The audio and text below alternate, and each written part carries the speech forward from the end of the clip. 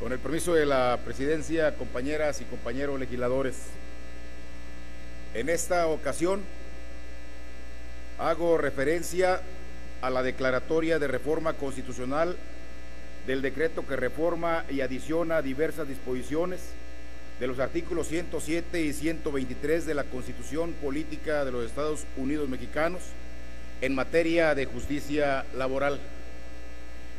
Una de las reformas más importantes que se aprobaron durante el primer periodo de este segundo año de la sexagésima tercera legislatura fue sin duda la que se refiere a los artículos 107 y 123.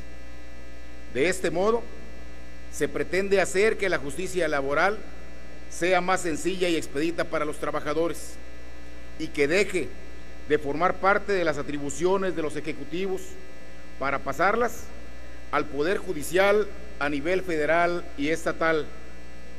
Como todos saben, uno de los principales objetivos de esta reforma radica en sustituir las juntas de conciliación y arbitraje por tribunales laborales pertenecientes al Poder Judicial de la Federación o de las entidades federativas. También se favorece la resolución de los conflictos laborales mediante la conciliación, dado que en la reforma se plantea que antes de acudir a los tribunales, a los tribunales laborales, los trabajadores y patrones deberán asistir a la instancia conciliatoria correspondiente.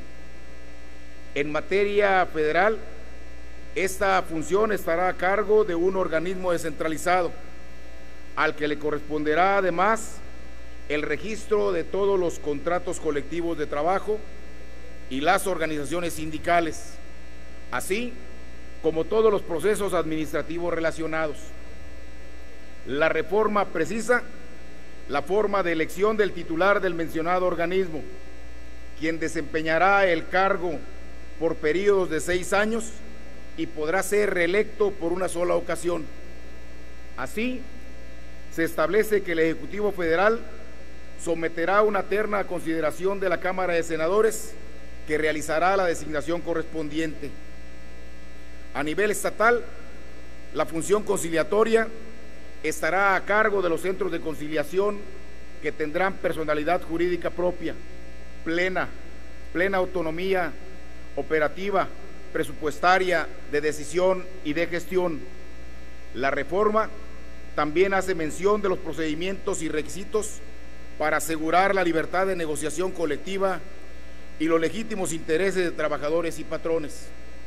Con esta reforma se busca respetar la representatividad de las organizaciones sindicales, la certeza en la firma, registro y depósito de los contratos colectivos de trabajo.